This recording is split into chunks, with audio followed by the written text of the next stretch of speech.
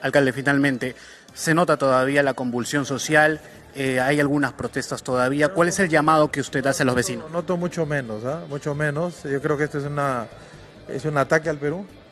Eh, hay gente que sale de buena ley, buena leche, no, pero eh, aprovechándose de la angustia de mucha gente, hay gente infiltrada, de otros países inclusive, con financiamiento de más de 10 millones de soles.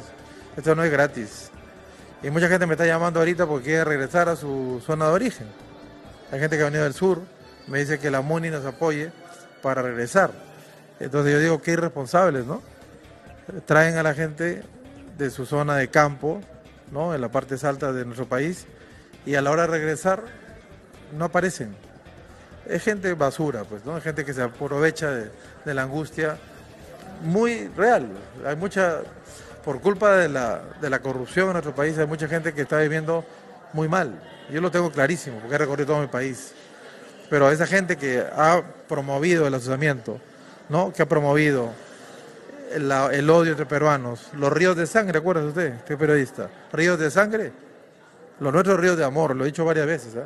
Y con ríos de amor que estamos acá trabajando con la gente, con lo que han cocinado otros. ¿eh? Gente que promueve el odio, que lleva a ser pues, Venezuela actual, o lleva a ser Cuba, o lleva a ser países pues, que viven en la miseria absoluta. A Perú hay que sacarlo por otra ruta, por base al amor, llegar a ser un país que sea potencia mundial. Alcalde, muchas gracias. Gracias.